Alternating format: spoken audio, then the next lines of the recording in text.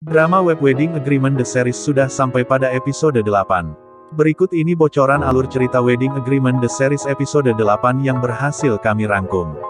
Aldi yang mengalami kecelakaan sebelumnya kini telah menghembuskan nafas terakhirnya. Sehingga tubuhnya akan segera dimakamkan. Hari yang tadi inginkan oleh Sarah pun tiba sebab sekarang Aldi akan segera menuju ke tempat peristirahatan terakhirnya. Kemudian Sarah meminta agar Bian ingin menemaninya pasca kepergian Aldi yang membuat hari-hari Sarah terasa sepi. Bian lantas menyampaikan jika dirinya akan menemani Sarah sementara karena Sarah sudah tidak dianggap anak oleh orang tuanya dan kini harus kehilangan Aldi. Mendengar perkataan Bian, Tari hanya terdiam memasang muka lesu yang menandakan ia cemburu kepada kelakuan suaminya tersebut.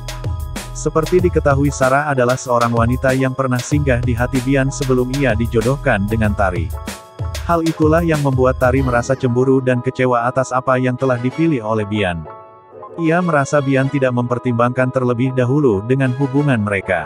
Lalu diperlihatkan Bian yang kini mengantar Sarah belanja di sebuah supermarket menggunakan kursi roda. Sarah yang duduk di kursi roda yang didorong oleh Bian merasa senang. Namun Bian tampak seperti menyesali perbuatannya. Adegan lainnya menunjukkan Kinan yang baru saja terbangun di dalam sebuah mobil yang sedang melaju yang dikendarai oleh Carly. Sesampainya di tempat penginapan, Kinan tampak lemas dan tak bisa berjalan sendiri. Sehingga Carly menuntun dan membantunya agar bisa berjalan. Ternyata Kinan dan Carly pergi dengan alasan berbohong kepada orang tua Kinan. Carly datang dari belakang untuk menenangkan Kinan yang sedang melamun. Namun ada yang lebih mengejutkan dalam episode kali ini, yaitu tentang hubungan Rafa dan Tari. Keduanya kembali bertemu di sebuah kafe dan asyik mengobrol tentang hal apa pun, terutama soal percintaan.